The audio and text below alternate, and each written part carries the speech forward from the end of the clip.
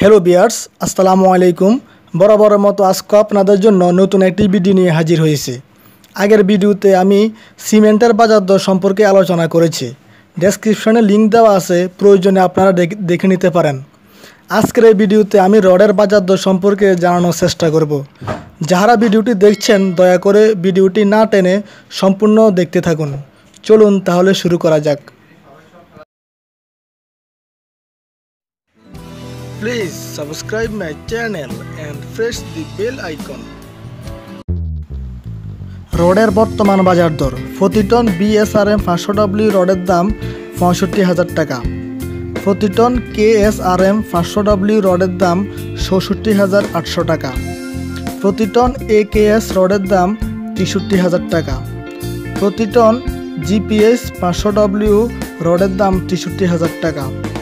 প্রতি ton R S R M পাঁচশো W রডের দাম তেষট্টি হাজার পাঁচশত টাকা। প্রতি টন বসুন্ধরা স্টিল পাঁচশো ডাব্লিউ রডের দাম চৌষট্টি হাজার টাকা। প্রতি ton S A S M পাঁচশো ডাব্লিউ রডের দাম তেষট্টি হাজার টাকা। প্রতি টন আর আর এম পাঁচশো ডাব্লিউ রডের দাম তেষট্টি হাজার পাঁচশো টাকা। প্রতি টন আনোয়ার ইস্পাত পাঁচশো ডাব্লিউ রডের দাম তেষট্টি হাজার আটশো টাকা।